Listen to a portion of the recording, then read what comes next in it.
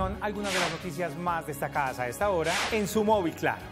El presidente de la República, Juan Manuel Santos Calderón, afirmó este viernes que el impuesto al patrimonio es una inversión y no un costo. Hay muchos empresarios que han anunciado respaldo a la ampliación del gravamen, manifestó el jefe de Estado en la clausura del sexto Congreso de Asobolsa que se llevó a cabo en Cartagena. Ampliación de esta y otras noticias en www.cmi.com.co.